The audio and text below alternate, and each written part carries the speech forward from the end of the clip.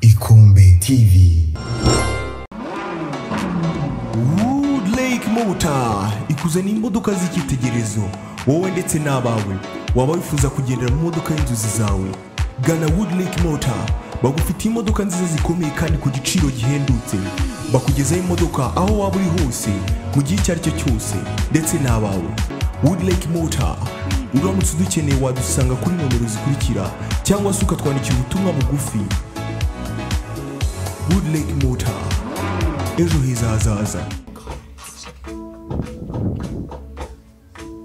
yes tubaha ikaze ku ikombe tv aho tubageza ibiganiro bitandukanye bukama na politiki umuco nyamurenge ndetse na showbiz. Ah, murabona twaje muri studio studio y'ubwenge studio y'ubwenge nk'uko mubibona ah, murabona umusore wacu hano imbere za kamera. Manura ijwi gato manura ijwi gato dutanga ikiganiro cyacu yes ah, turabona studio ihagaze neza iratatse. Ah, harimo intako zitandukanye na zo uraza kuzisobanura. Ah, mbere ya byose reka dutangire banza wivuga amazina mu ncamake kugira ngo dutangire witwa nde? Twaje hehe? Kugira ngo abantu batumenye. Abafana b'ikombe. Karibu cyane. Hano muri muri muri beam studios bigger impact music records. Um, producer fabs fabs made it. Ewe! Yes ah, iyo ni jingo ya studio cyangwa ni Ah, iyo ewe ni akantu twashatse twashatse ikintu cyaduhuza n'abantu b'iwacu bari mu rwanda of course abanyamurenge abarundi abo tuvuga ururimi rumwe. Dusanga akantu kihariye kandi gasekeje gashimishije kari entertaining ka ewe. Tugakora jingo no se ya hari meaning gafite cyangwa na ni fan just Mm, entertainment. akantu kacu kari music hose ngiye guha meaning byasaba Uh, aba music ntibabyumva buriya. Abafana batazi music muri ihangana ubwo nyine turaba turabirengagije Eh, okay uh, beam records. Niko studio yitwa? Beam. uh, beam record ubundi magambo arambuye yitwa ni gute wabivuga gute mu Ah, beam? ni icyongereza ni icyongereza rihagarariye bigger impact music Mm. records. Okay bisobanura wenda n'abarundi n'abanyamurenge gushyiraho ni nko gushyiraho mm, impact ubwo mu kinyarwanda nakita ko ari nka ni nko gushyiraho like nk'impinduka cyangwa se nk'ikintu kigenda byite gute mu cyongereza. Bigger impact nko gushyiraho ni nka ni nk'impinduka dushyiraho nini iremereye ikintu turi kongera ku muziki. Mm. ni nka ni nkayo ni nkayo mbese muri ba game changer? Neza cyane urashaka. Ubwo ba game changer hanze turaba turabaramukije cyane. Ubwo murabona bagenzi banyu hano. Ah, hanyuma iri ko ah, beam records yatangiye gute yatangijwe nande? Ese ubundi hari undi mubifatikanye cyangwa ni wowe ku giti cyawe Uh, Beam Records Mm. we are ubu turi ba partners babiri Mm, njyewe Fabs Medit na Rhythm Ski. Mm, nawe ni producer mugenzi wanjye ni we twatangiranye iki gikorwa cyo gushinga studio. Uh, actually twe dufite passion ya music. Okay. Nanjye ubwo nari mfite passion ya music nawe tuza guhura nawe ari byose ari kimwe. Mm, uh, nza kumuhahira nawe ngase kuki tudakora studio? Hari n'abana bari hano benshi cyane bafite nabo passion ya music gusa badafite uburyo bwo kujya muri studio kuko zihenze tuba twe kuki tutakora studio iri minimum nanone itari minimum cyane like iri average mm. so that dukorere music n'abandi bana bashaka gukoresha nabo ku biceri bikeya bifatika none ko mbona irenze? Ni uvuga ngo ni yamake nabivuga ngo ntabwo studio nkayo ntabwo iciriritse kuko ibintu ibikoresho Mm, ndabona kabisa muhagaze neza. Gusa nyine ndavuga kuri price tags zo dukoresha duha abantu like service. Mm, twabishyize hasi biciriritse kugira ngo buri wese yisange. Ah, okay ubwo rero bafana murumva. Neza cyane. Ah, tubakorere baze mu bakorere rhythm cyangwa se ingoma zitwika kabisa. Eh, Ah, uraza no kuduha sample. Ah, ubundi iyi studio ihagaze angahe? Nimba atari ibanga. Studio ngiye kubwira iyo ihagaze. Way byinshi by'ibona mani njye nabyikoreye Mm. njye ntabwo niyo nshaka umukozi ndabona hari fashion how to design. okay tubanze tureke eh, amadesign ibiki tuje nawe ku byuma So, instruments tugiye muri tours. Mm. tours. Sinzi ko nahita nka budget. Mm. iri iri fixed. Ujya wagira nyine approximately- estimation. Mm. approximately kandi approximately ishobora kuba iri nko muri 15 cyangwa 17 17 17 millions? million shillings. Okay. Eh, okay. Ndabona ni amafaranga amafaranga agaragara ni menshi ko turateganya kongera tugakora nini ko turashaka no gukora na live band uko buriya hari hari ibiburaho byinshi cyane ko turateganya kuyigira real Mm. label tukaba dufitemo live band tukaba Okay. dufitemo group of singers and group of dancers. Shaka kugira real entertainment house. Ah, okay. beam ikaba beam house. Mbese ikarenga studio gusa ya ya sound na na music. entertainment house. Okay. Yeah. Ah, ubwo rero niye vision mufite uh, vision dufite turateganya ko mu uyu mwaka utangira. Mm, nko mu kwa mbere kuri kurangira cyangwa mu kwa kabiri. Mm.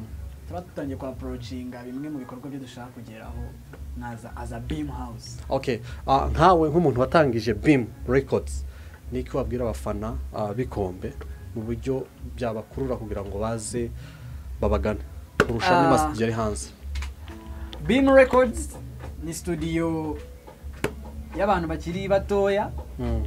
Upcoming. talented Mm, ah, kandi bafite passion mu byo bakora mm. Ah, n'ikindi dufite quality muri music wacu. Twe dukora every kind of music. Reggae R&B zouk afro. Kandi ya music yose wowe wumva wiyaminiyemo uvuga ati njye hano ni ho mfungira. Urakaza neza muri beam turagufite rwose.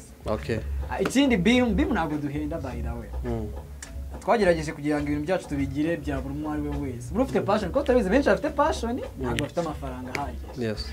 So niyo mpamvu twabishyize simple kugira ngo buri wese Mm. abashe kuba yatugeraho tumukorere umuzigo we Mm. dufite production nziza promotion irizewe worldwide by the way Mm. dufite worldwide promotion Uh, dufite ni within a country still we have some uh, distributors who help us to distribute our music So, okay Ah, wenda hanze ubu mwatangiye ah, uretse music. Hari ibindi bikorwa mukira? Kuko hari igihe naje nsanga uri muri sound wa ntuza wa film uri kuba editing. Uh, na byo murabikora cyangwa cyari kiraka cyo ku ruhande? Uh, actually beam studios. Mm. niyo mpamvu mva tuyita beam studios. Mm. ni beam records gusa iri munsi ya beam studios. Okay. So beam studios ikora ibintu byinshi. Mm. ikora ku ma films igakora no ku ma no ku no ku ma sound igakora ku muziki. Dukora twe byinshi cyane. Mm.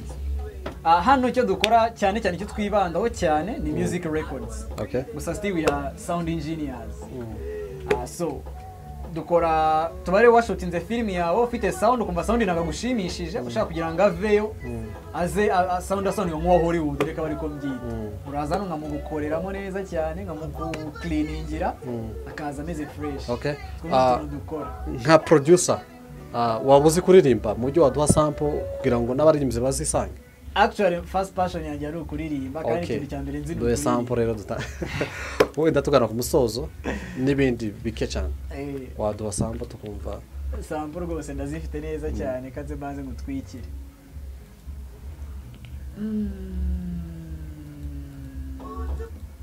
Actually hano hari indirimbo yanjye usanze nari ndi gukora. Mm.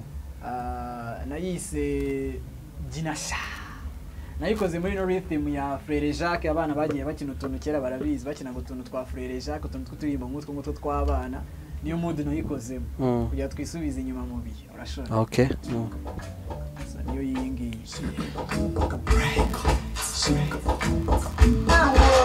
When I look at you, I remember everything we've been through, seeing you by my side since we were young. I don't wanna leave anymore, I don't wanna leave and I don't wanna eat if you know with me. Oh no. La première fois que je t'ai vu, j'ai promis de te serrer fort, car you made me feel alright. Oh yeah. La première fois que je t'ai vu, j'ai promis de te serrer fort, car you made me feel alright. Oh yeah. Udukino twakinaga nitwo twatumye wikundira udukino twakinaga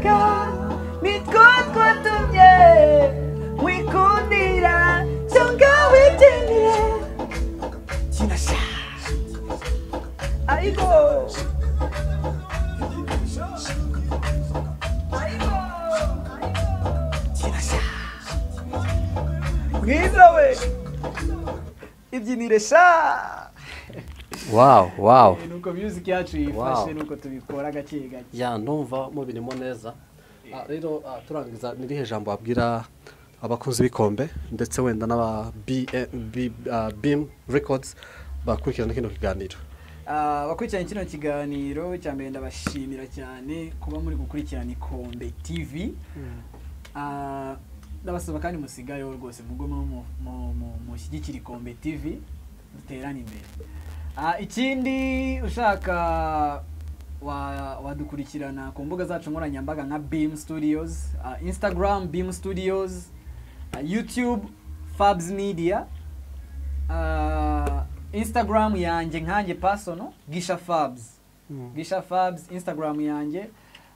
Gisha fabs tiktok fabs media youtube then bigger impact records as a studio instagram then rhythms key as a producer. Turabashimiye cyane rwose kuba mwatugezeho kandi turashimira namwe bikombe. Yego. Ah, urakoze wenda hari akantu kubaza twakoranye ikiganiro ufite agapira. Ese ni basket buriya Ah, iyi ni basketball. Okay uri ufite passion yayo cyane Ah, muri reza yacu dukina basketball ah okay ni ukuvuga ngo ntabwo ari music gusa out of music tuba turi kuri basketball. Urumva siporo irakenewe mubikora nka siporo niyo mpamvu umuntu yirirwa yicaye ntabwo wakicara amasaha makumyabiri n'ane kandi n'umushyira ni makumyabiri n'ane ya wicaye ugomba kubanza ukaba kabisa fitimo gake ya. Ah, rero turabashimiye ah, kuba mwatwakire mwatwakiriye muri studio yanyu Ah, urumva abafana bacu turabashishikariza mwumvishe ko bafite waka. Umugani w'abagande. Na ibintu waka. byiza babita ngo waka. Ya bafite ibintu byiza ah, mwabagana kandi bakabakorera ku biciro bidahanitse ah, bibereye. Ya kandi ubwo tukabaha quality work ya na quality wa quality mu mu- ndimi zacu gute? mu ndimi zacu ni work ufite ikosora ya murabyumva bafite ikosora kandi ndibaza ko muri mu ba producer ba- bafite quality hano kabisa Eh, quality yo ni ikintu twiyemeje ubwo abantu rero turabashishikariza abari hano hafi kampala n'abari hanze ngo babakorera ndibaza uwo ari we wese apfa kutugeraho gusa ari hanze byagenda gute ari hanze byaterwa n'aho ari okay kandi nanone byaterwa n'uko ahagaze by the way hari ukuba hanze hari ukuba ari hanze uba afite studio ashaka nyine mukorere Mm. Ari simple. hanze y'igihugu hari ukuntu yakohereza ijwi mukabikora abaye afite ahantu yakorera ijwi rye njye akarima Mm. kuko n'ubundi hari abo mastering ya music bo bakaba ari nk'abatipe hari bapeti banjye batangije ama studio still mu Rwanda Mm. babonye impact y'ibyo ndi gukora nabo Mm. bashaka gutangira Mm. gusa ntabwo babirimo neza so bararikodinga uh, voices ze njye akanyohereza project nkayimasteringa fresh nkayimuhereza yicayemo neza cyane. Okay ah, murumva ko twahageze ah, mu ntuze yanyu mu cyimbo cyanyu. Ubwo rero turabaha kontakiti murazibona muri hasi turazipininga Fresh. ababa bashaka babandikire Ah, murakoze cyane nawe utaha. Ciao ciao. Ewe! Neza cyane.